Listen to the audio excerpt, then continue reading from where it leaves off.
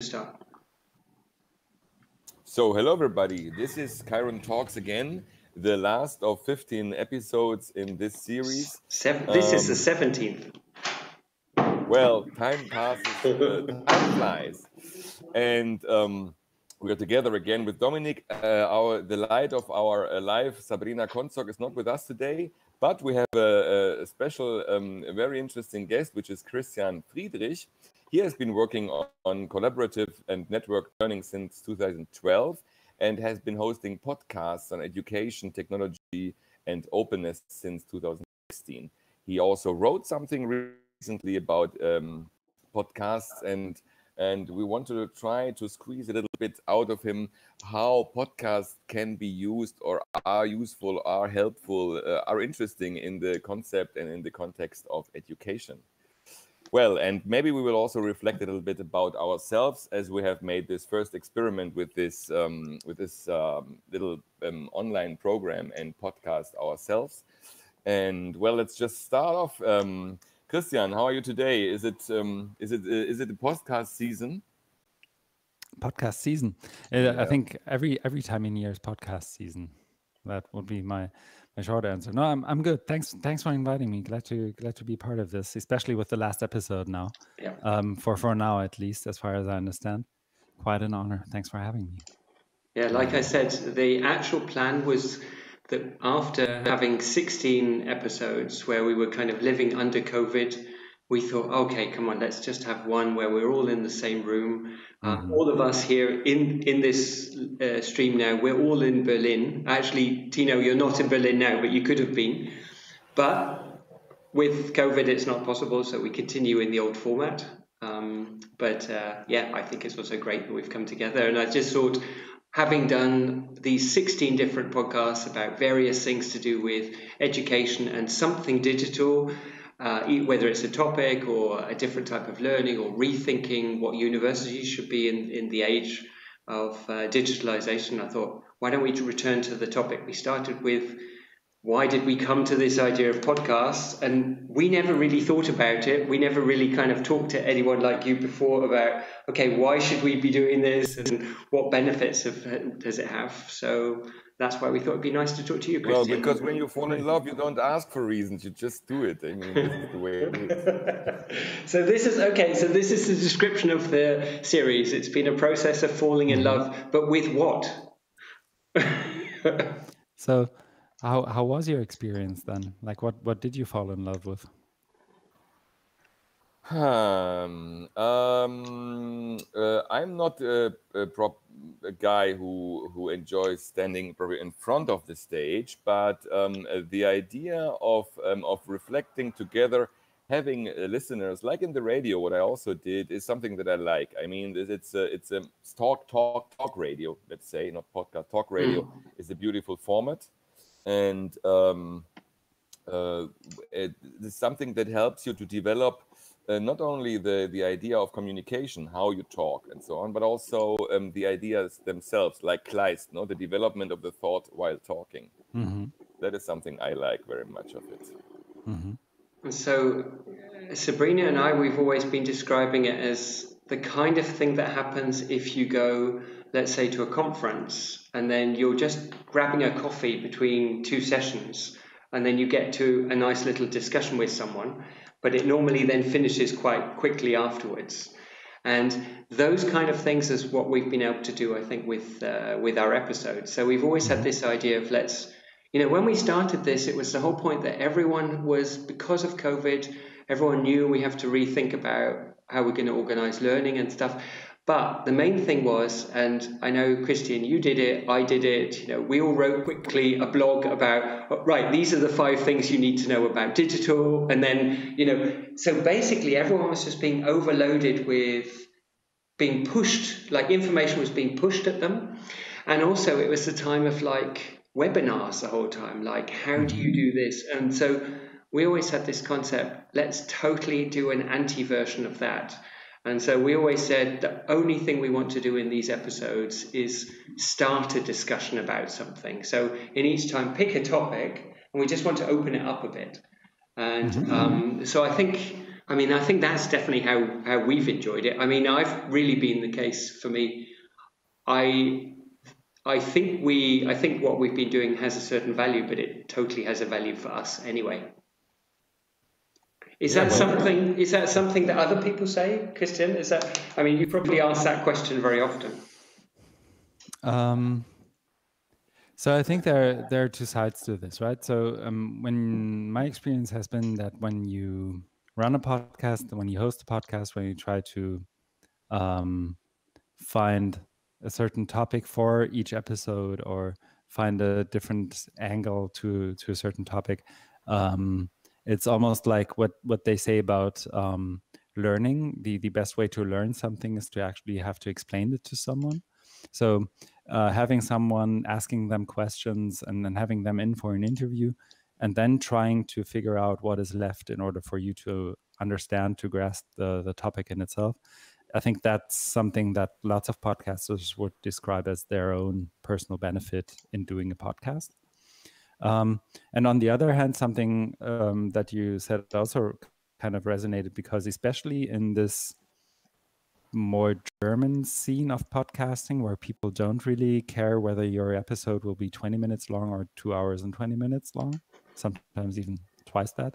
Um, lots of people promote the idea of having a podcast where people can listen in while the podcast interview guests or whoever is on there um, are thinking. So actually joining them for that thought process of grasping this topic and, and joining them um, for for this kind of journey, um, because podcasting as an as an audio podcast at least um, is something that you can do while doing something else. You can you can do it while cleaning, while going for a run. You can do it on your daily commute or what, whatever you you wish. Um, and hence it becomes a kind of different and much more personal and contextual learning experience to many at least. Not for everyone doesn't really work for for everyone but what does i guess. Um, so so those are the two things that kind of resonated with what you were saying i think. Mm. and and lots of podcasters have this experience of um, almost like when you go out for a run on a regular basis um, it's been a while for me but i remember briefly having that feeling of missing it when you stop like and it's almost kind of like that for lots of people who have their kind of interview format and, and podcasts who think that i might need to go out and exercise a bit again yeah actually i was wondering when uh, we invited you um, if we mm-hmm. would talk about um, how to make a podcast best for listeners um, mm-hmm. or uh, on the other hand um, how um, how listeners or how uh, students uh, should make podcasts to learn. So mm-hmm. to, to use the podcast itself as a, as a project to um, uh, to embrace whatever you have mm-hmm. to deal with. So uh, what do you think would be more in, in, in interesting now, or very interesting? I think both are. Uh, I think, and I'm I'm not sure if it's bait, but um, I'll, I'll bite anyway. So I would never go anywhere and say you should do it like this or you should have this kind of format. You should aim to do something like this or this or this. Um, but there are maybe some certain like let's call it principles of, of how to record something in order for it to sound good. But apart from that um, podcasting has plenty of freedom attached to it. So the the idea of um, you just grabbing a microphone and interviewing people or you and and then i don't know mixing it together in, in some strange way or you just talking um, for 45 minutes each day or whatever your podcast idea is that kind of gives you lots of freedom. And i think we should try and not to impose on that and impose for for people to to change that. So if i were um, doing a podcast that is uh, and that's where perspectives come in. If if i if i have to conceptualize and implement a podcast format that is good for listening and for learning I will always try and ask who the people are that are supposed to be learning whatever it is and whatever it is that they're learning. And then i would actually question whether podcasting is the right format for that. Quite often it is not. And also when people aim or when students or learners aim to run their own podcasts and to to produce their own podcast formats or audio formats to even widen that uh, that, yeah. that spread. Um, i think there are some certain tools where you can say why don't you use that or that or that? Um, or this hardware device will give you better sound quality or if you host it like this people will actually be able to subscribe to your podcast instead of manually downloading stuff. Um, but apart from that part of the learning experience then is kind of on this meta literacy level in terms of not only in, in your discipline but in how to run things and how to how the web works. What is an rss feed? What is an mp3 versus an wave format? Or what how do how do repositories works? Uh, how does a repository work in terms of uh, versus how spotify works for example? How how does that compare to one another? And you can make that much more approachable when when students and learners themselves try and run their own formats i guess. is this what is this what you wrote about in this recent blog about uh, podcasts? No not really. Um, what i wrote there is i was actually uh, dominic referred to it and you referred to it in the introduction as well uh, i think is a it, it, referred to a workshop I ran with Matthias Stier, who runs a podcast in, in more the, the cultural sphere on museums and then their exhibitions. And um, we offered a workshop um, at the Start Camp in Hamburg last year in September or October, I think, um, that we called "You Should Make More Podcasts," Ma uh, "Macht mehr Podcasts," um, and the idea was that there there are lots of critics um, oh, critics um, who claim that this this this podcast wave thing should be over by now. So uh, who's going to listen to all that content? Um, what what what is the the sense of this? And this is this is this is this is insane. Why why should people listen to all the podcasts that everybody produces? And on the other hand, I'm pretty sure there have been these kinds of comments about blogging in, I don't know, 2005 or 2003. And I, I, know there have. But I know that we now look back on that and think that was a silly idea, wasn't it? To, to try and keep people from writing on the internet. Now we wish it were back to this, I don't know, 2007 blogging. Let's call it a hype. Um, so the idea in that blog post was basically to um, enable people to, to, on the one hand, make their own podcast, but on the other hand, to also describe what podcasting in learning and education might be good for, at least from where I am standing. Yeah.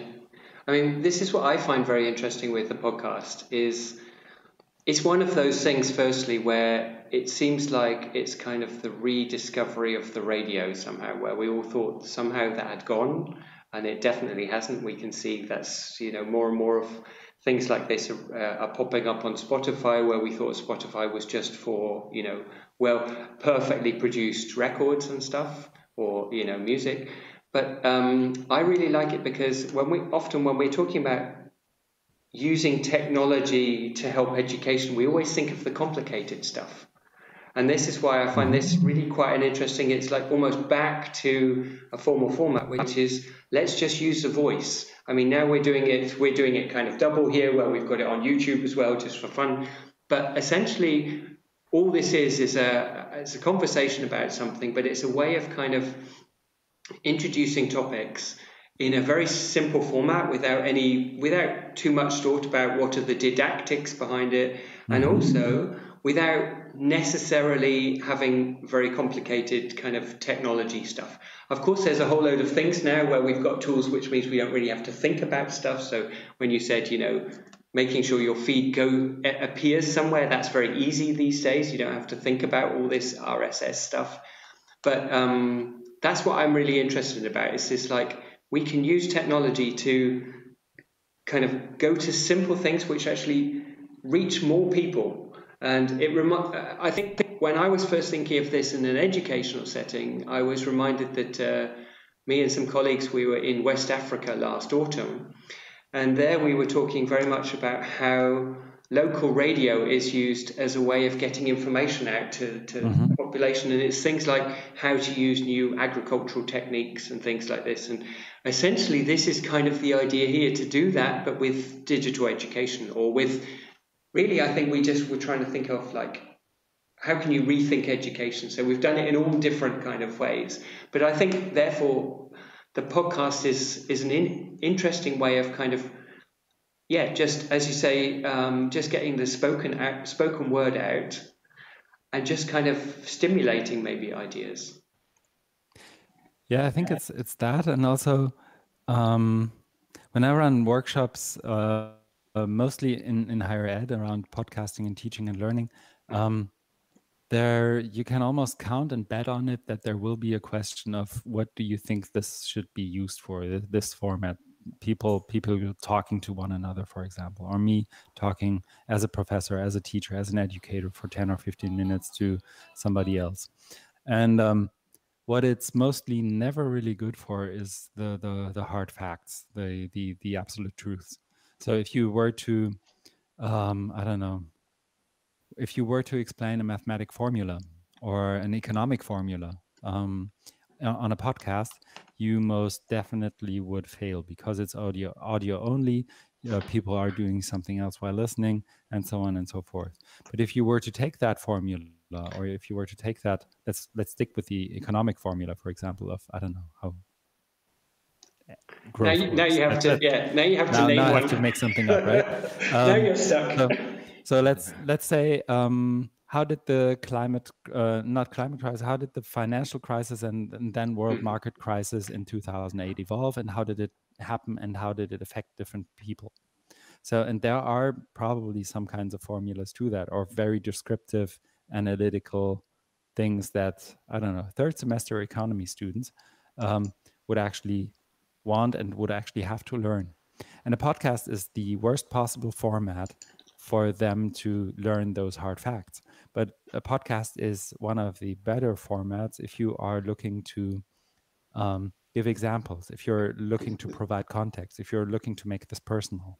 So you have, as as we're doing now, you, it's easy for you, easy-ish, to send someone a link who has been affected by the financial crisis in I don't know uh, some some country in Central Africa, uh, some some country in in North America, um, Australia, Asia, and Europe, and then compare how these effects trickled down in their in their cases, and maybe give an example of how I don't know economic policy in that region actually affected that feeling that sense.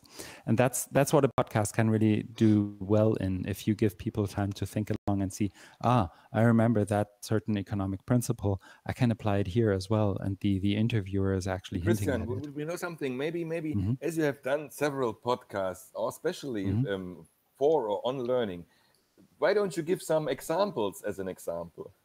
Mm-hmm. okay you mean of the podcast that i that i produced myself?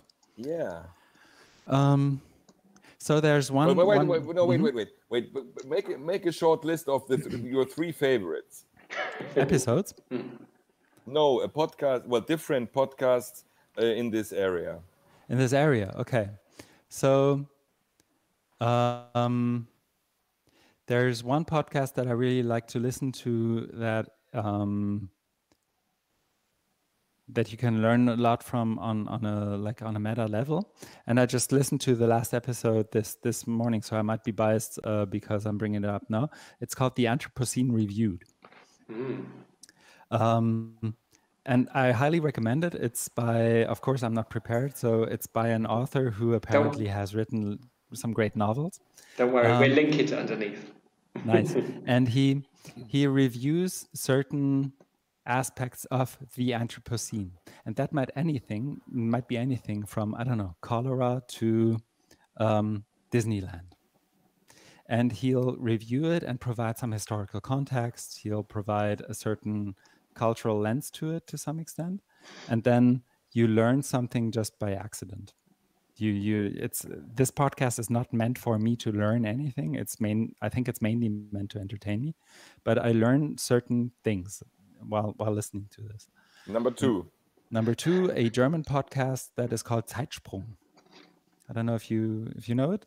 It's uh, a podcast where two historians come together to tell each other a story about um, history, and it's very tiny stories. So it might be this one eccentric guy who invented I don't know what 50 years before Ben Franklin did, and how he come disastrously failed with with something. But listening to that, uh, or him taking the expedition to the North Pole, and listening to that, you learn something about the time the the story happened and You learn something about the setting and the scene.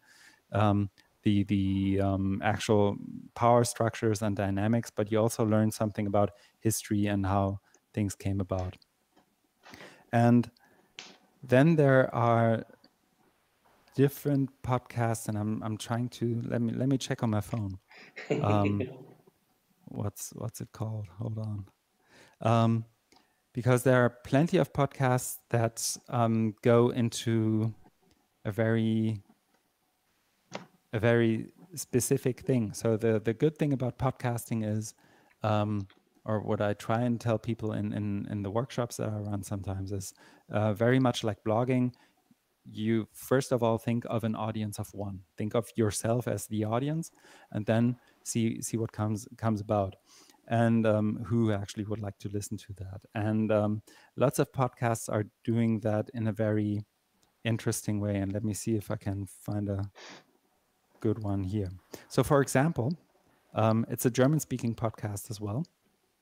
There's the podcast, I don't know if you know it, it's called Rice and Shine, but not Rise, but Rice. Um, and it's actually a, quite a pun because it's by two um, Viet German uh, journalists who speak about their experience of being um, uh, of being of, of having having a, a, family from Vietnam who uh, immigrated to Germany and they're basically second generation living here.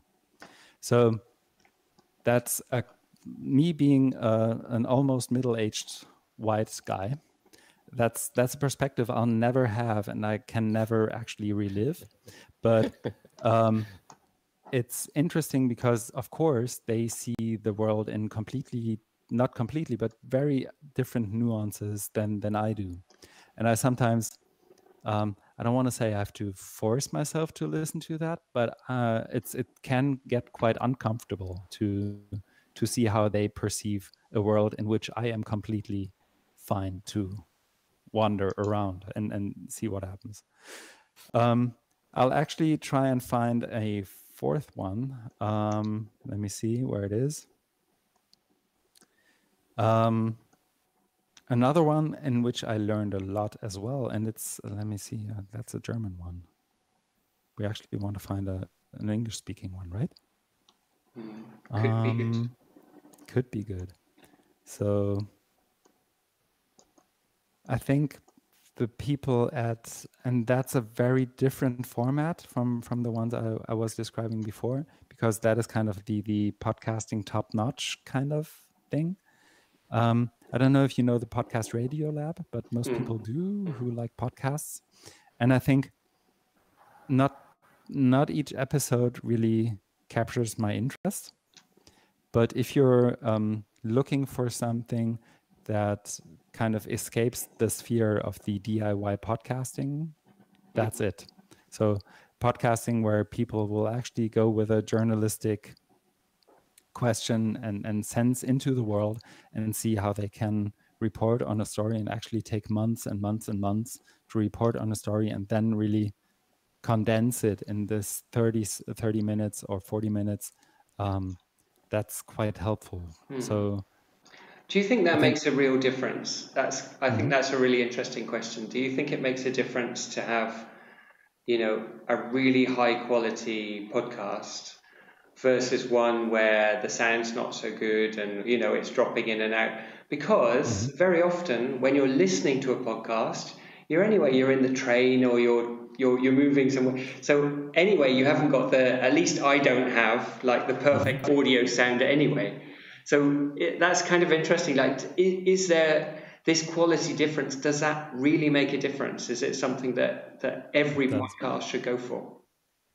I think it does, and I think it's um, uh, and and I think every podcast should go for it because um, if you, of course, when when moving around in the train, in the car, on the streets, where, wherever you are, uh, there will be background noise, and depending on your headphones, depending on your equipment, you will be able to cancel that out or not.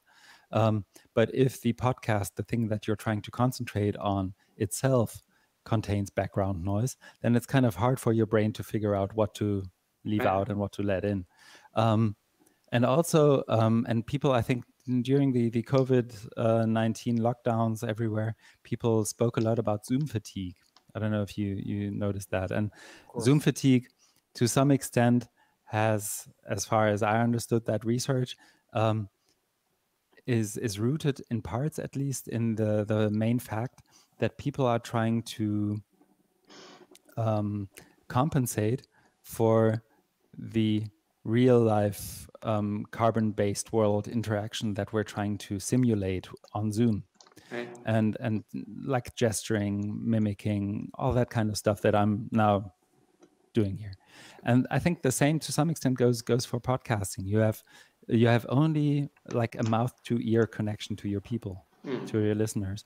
And that's kind of um, almost an intimate thing sometimes. So people will come up at conferences to me and say I, I know we've never met but i've listened to so many of your podcasts i kind of have I have an impression of how you tick, what makes you laugh, what makes you what makes you cringe, and and, and so on and so forth.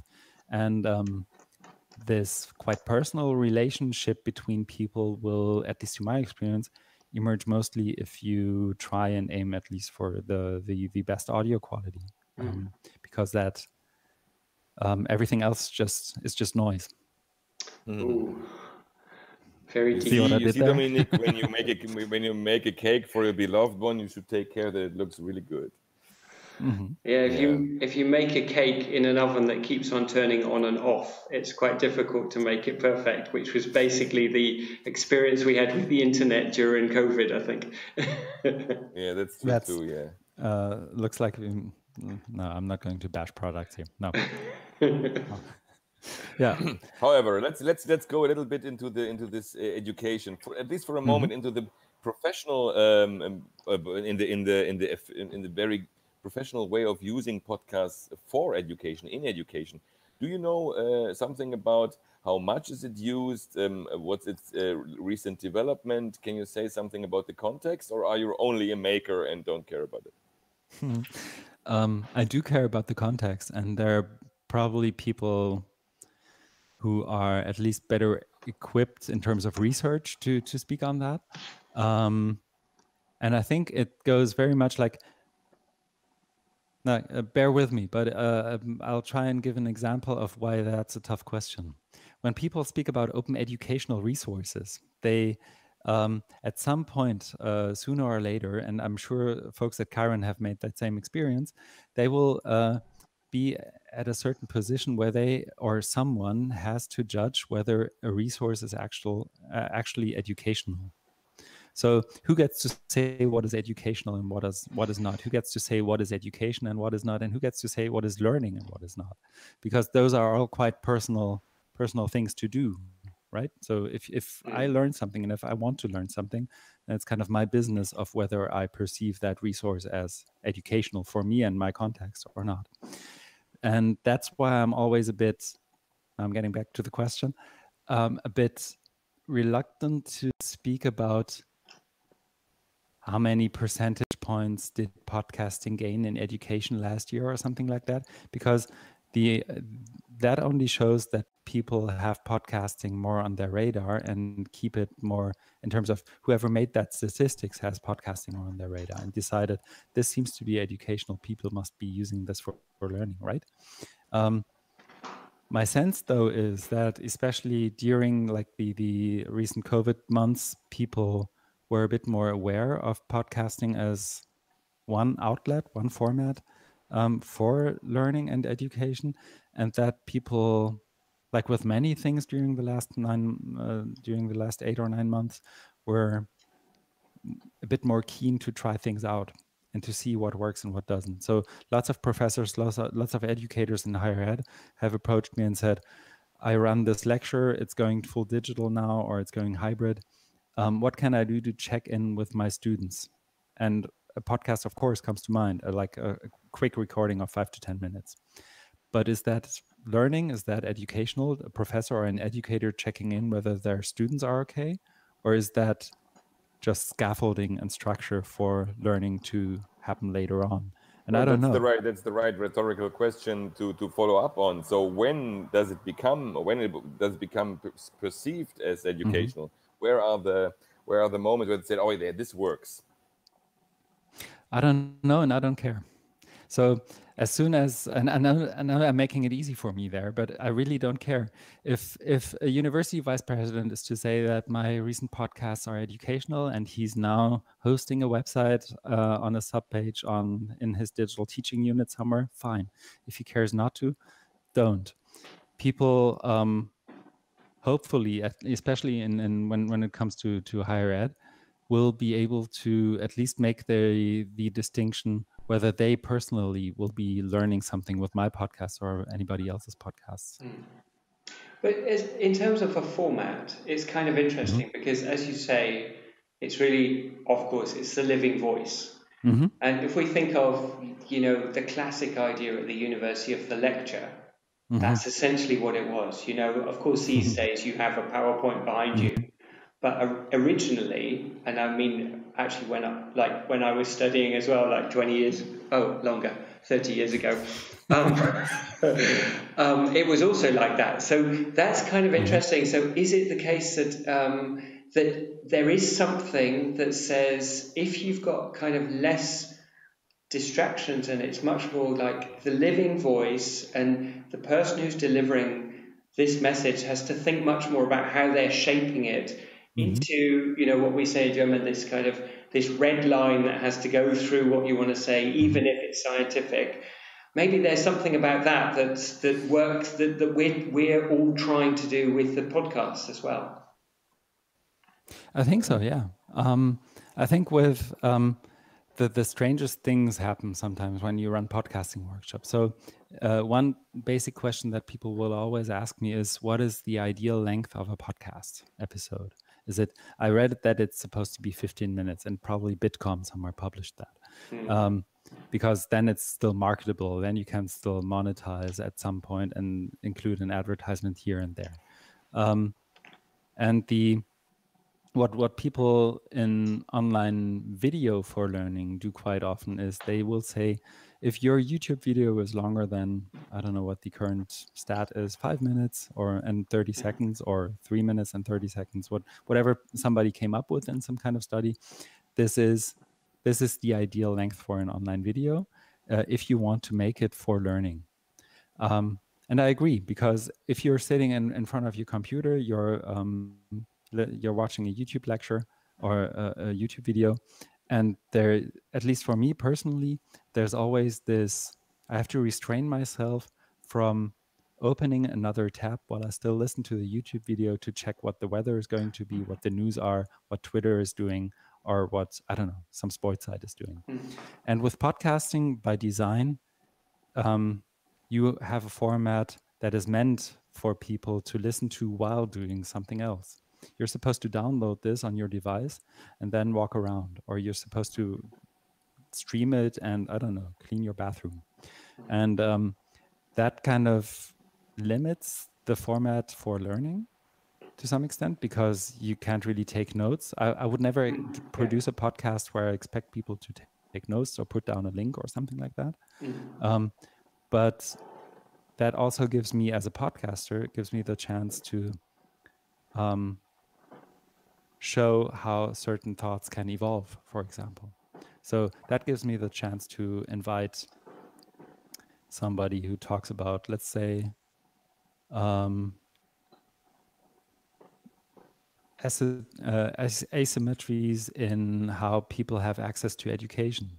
You can put lots of bullet points down on a on a, like an A4 uh, letter page, or you can talk about that for 30 or 45 minutes and try and connect to person to a person's own personal experiences and that kind of is the learning effect i'm not sure if that makes a podcast an educational resource though because an educational resource at least some would say is kind of has been instructionally designed and i'm not sure if a podcast that kind of where this kind of structure emerges emerges almost organically mm. fits that idea of instructional design, for example.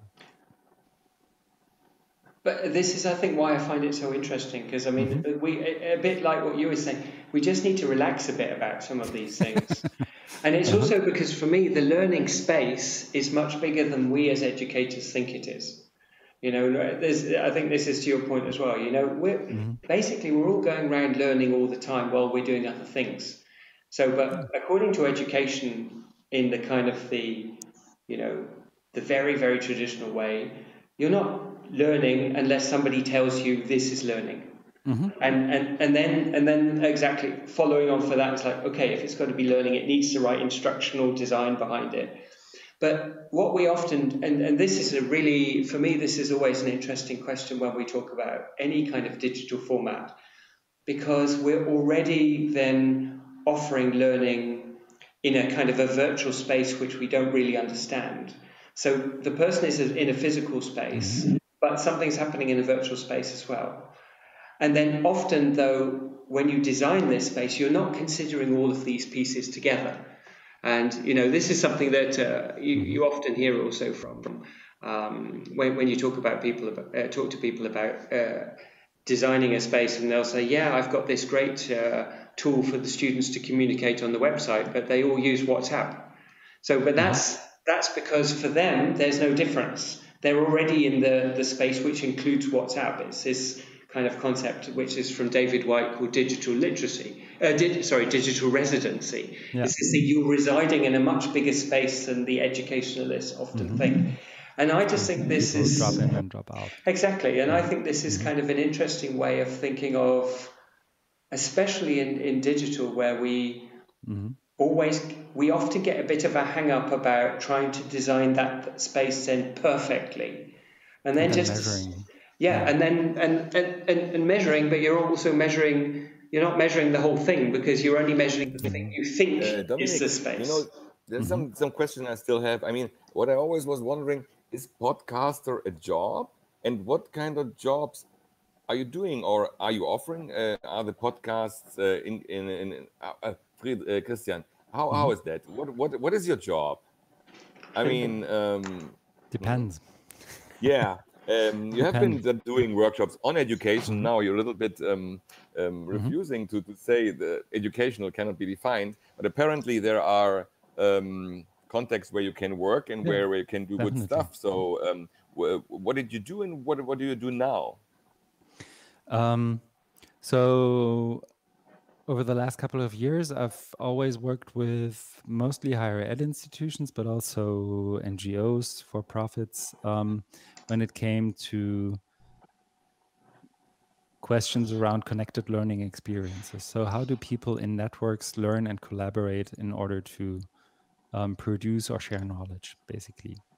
Um, and part of that is actually sometimes podcasting, because sometimes um, as you probably know, knowledge management within an organization, for example, can be the stuff that nobody really wants to do. You're not going to document how your process works because XYZ. Um, but if you are to walk around with a microphone in your hand and you ask people in bookkeeping or people in personal development or people in some kind of administrational sphere, and they actually get to talk about their job and their processes into a mic, then they will actually kind of do knowledge management without even noticing to some extent. Um, nice. the, the, the other thing is um, what I was just talking about context. So, um, as a professor, you're used to explaining economic theory, for example, or mathematics or whatever it is. But if you were to run into somebody who interviews you, um, not even in a very journalistic way, but just tries to take over the perspective of the learner and ask questions and, and see where that takes them. That might help both the professor get better at explaining what it is that she does in, in terms of like you have two minutes eh, ask any academic in the world and uh, let them explain to you their field of study their field of expertise in 90 seconds and see see how how far they they came how, how far how far they actually were able to to take you along on that journey and then compare what what actually stuck with you and how they would react. Tina says that to me when we whenever he mm-hmm. does something, because well he also mm-hmm. works as a journalist and then mm-hmm. he'll ask me a question i'll answer and he's like no that's too complicated yeah that's exactly the point. point and so uh, having running a podcast with a professor for example or an educator or a scientist um, can be on that meta level, not even about the very podcast episode that you're producing, but it might just trigger this thought in the professor's head when they listen back to what they came up with. I think I need to explain this better. I think I need to get better at communicating what it is that I do. Um, and to get a little bit closer to the question, so I consulted with organizations and, and people, and I still do, who want to create some kind of network learning experience. And part of that job sometimes is to run or to host or to facilitate podcasting. And i run workshops. I consult with individuals who want to create their own podcasts um, i sometimes offer to produce podcasts to, so to conceptualize um, name produce um, do the editing the the mixing everything and then publish so i'm almost sometimes i'm like a small publishing house and sometimes i'm just the guy you call when you run into a technical problem Mm. So hmm. that's kind of the spectrum. Yeah, that's the new times. Um, the the radio and the TV um, as the pre prefabricated format of um, mass communication lose ground and uh, or become become only the medium for a certain part of the population while more and more people, especially those who are um, uh, skilled with more than long, one language and who move around in the world, um, choose to, um, uh, to to pick their own um, uh, sources of information mm-hmm. and entertainment, which must not necessarily always lead into um, ideological bubbles, but it can.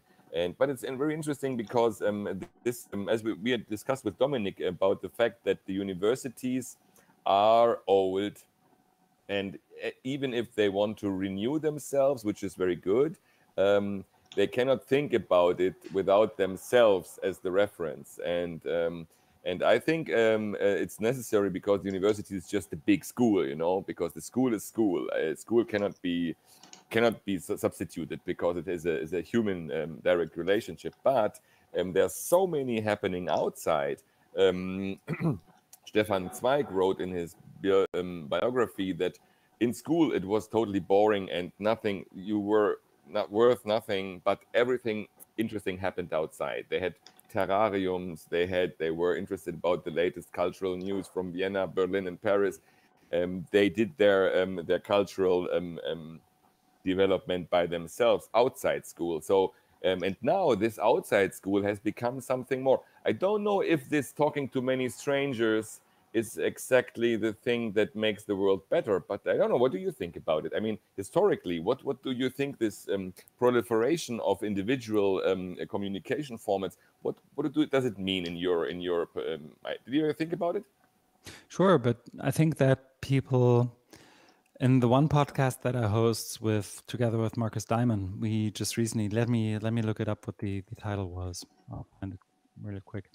Um, we had a an article that we featured and that we spoke about called um, The Sisyphean Cycle of Technology Panics by Amy Orben.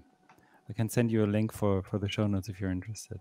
Yes, um, and it's basically looked at this historical, it took this historical stance and took a look at how new technological developments are received and then everybody panics and then parts of it are implemented then new technolo- technological development like a cycle. Everybody panics. Oh we have to renew everything that we have. We have to renew everything that we see. Uh, it was the same with books. It was the same with radio. It was the same with tv and it's um, now has been the same for the last 20 or 30 years every once in a while maybe even 40 years with the internet. Um, and people always cry and cry and cry the university this old structure. Um, has to renew itself and it can't do it on their own uh, on its own um, people will have to the people will have to destruct it and demolish it and and uh, then we'll build a new system that uh, actually cares for for what what we should edu- what education should look like. And um, I'm only I, I hope you can sense that I'm kind of reluctant to accept that narrative um, because the people who talk about this, and you just you quoted uh, Stefan Zweig, and I'm I'm sure he he was an intellectual like mastermind, sure, but those are not the people that universities are built for. Those are the kind of people who would usually get along and be educated and learn, and they don't need a university to do that. Um, those are the kinds of privileged people that I don't need to care about, that you don't need to care about, because they will get along anyways. We should care about what they do and how they do it, and we should scaffold learning for them as well, sure. But the university or any kind of educational institution, at least from from where I stand, that as someone who likes to keep things publicly owned and not privatized, I think they should take care of society as a whole or as much of society as they possibly can. And looking to people like I don't know. Recently, there there has been what's uh, Frank Thelen, I think, is his mm-hmm. name. The um, in in Germany, there's a there the seems Lions to be a TV Den. show. Yeah, like the the the Lions. What's it called? Lions Cage. Lions Den. Den. Lions Den. Yeah. Yeah. And he's one of those um, investors who got rich by I don't know investing in some some kind of internet company probably in the late 90s or early 2000s and and now he's making claims about education. People should learn like kids should learn or must learn to think like Elon Musk. These are not the kind of people that I want to listen to when I think about education.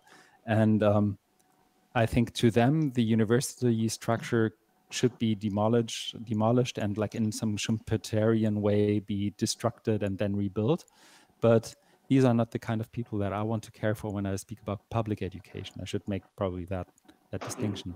So the 80%, and I think there's a large percentile in society for whom the university or a higher ed institution works to some degree. Probably not perfect, but to some degree it works.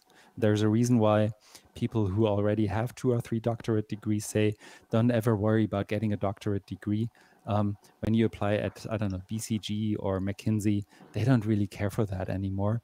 Um, by the way, I have my three degrees already, and my yeah. my rent is safe as well. So I'm always quite cautious when people claim that something should be destructed uh, when it's actually a public good that they're speaking about. But I, I think with uh, I think I agree with your principles, but not with your arguments because I'm a super fan of higher education, of course, and, mm-hmm. and public higher education. Um, I, you know, I work in that. I'm, I'm part of it myself. But I think the problem with formal education of any sort is it's it's too it it creates an environment which it thinks it's controlling, and therefore it's not really reflecting the environment we're all living in. So this is why you know this is one of the big goals, I think, for, for Kiron that we really reach out to the world the students are actually in.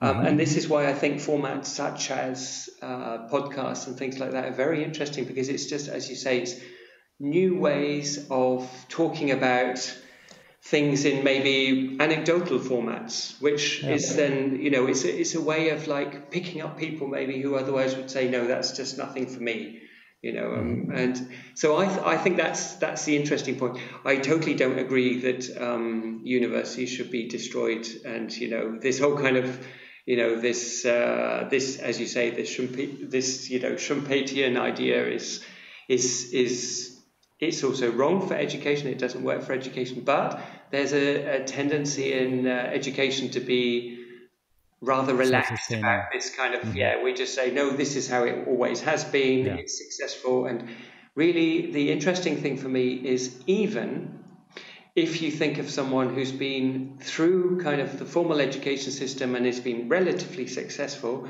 and let's say they finish um, their formal education therefore at 25 27 nowadays you can probably talk of most people living to 100 what happens in all the rest of the time? And the education system often says, no, that's not that's nothing to do with me. So Definitely. there you can already see this thing. And you know, this was really nice. We had a, a one of the podcasts we have was the, the 60 year curriculum, and I think this is these kind of ideas, and it just means you have to open up to these other types of format.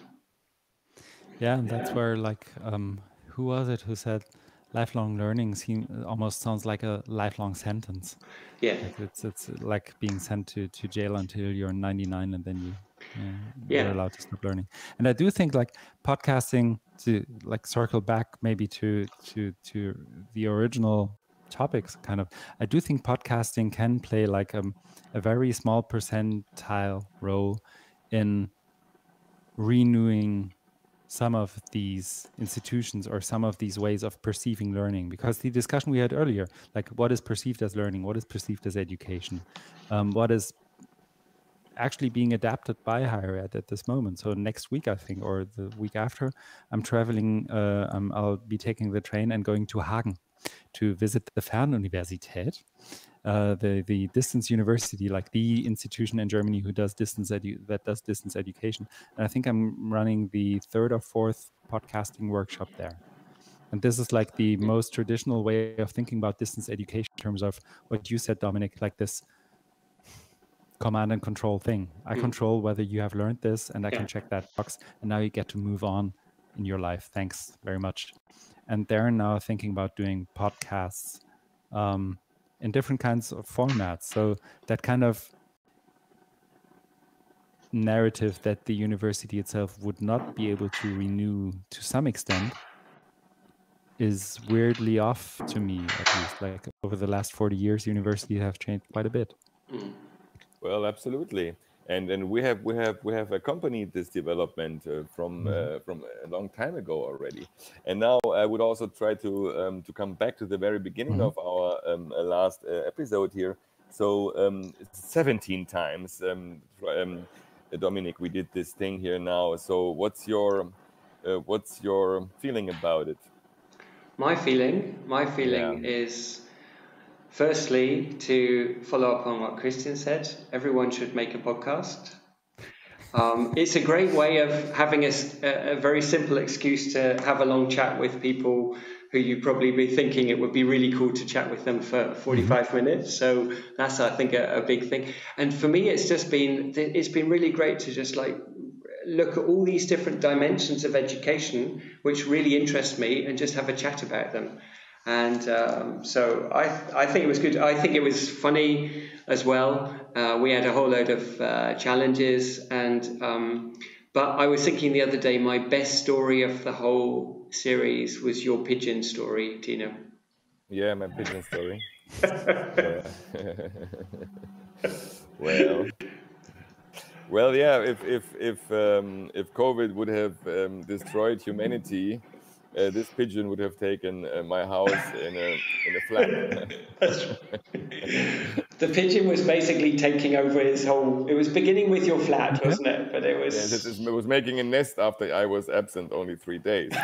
So uh, in a little window, you know, very very beautiful. That's to your Yeah. thing, Christian, with the Anthropocene world. mm-hmm. The pigeon is going the to rule. anthropocene reviewed i highly recommend that podcast Well, Christian, it's really interesting. I'm really looking forward to, um, uh, to talk with you again um, Mm-hmm. as we are trying to, to develop a podcast studio in Berlin. You have a lot of experience. And uh, next time, um, uh, Dominic, you come to Berlin, please uh, tell me before. Otherwise, I will not do a podcast with you anymore. okay. So, uh, yeah, that would be good. Well, I would say this is a, is a nice, um, nice moment to finish. Mhm. Um, I would like to thank you, Christian, uh, for being with us. Sure. was, um, I learned a lot Pleasure. oh, in just these few minutes, and um, we will we will think about a new format, a new um, a new launch of something um, where we will compete with I think and I, and then we'll see and we'll let you know. Yeah. Yeah. yeah sure do let me know And thank you to everyone else who kind of joined us on this journey. And uh, sorry that Sabrina couldn't be here today. She's stuck in the mountains. maybe, maybe next time but that's actually uh, for for me just one closing remark i think Sure. if if i'm allowed i think what what i would really like to see people sometimes ask me like two or three years ago people asked me what what open what what i would want open to to aspire to. And i think the same goes to podcasting as well is to have more people who don't look like the three of us run a podcast and see see what happens then. Um, So anybody who is thinking about running a podcast um, or has has a certain idea, please please do put that out there and uh, let us all listen to that. I'd be interested. Totally. Back to the beginning. So, as mm-hmm. Christian said in his pod, in his blog in January, go out and make podcasts. That's it. Thanks very much. Thank you very much. Goodbye.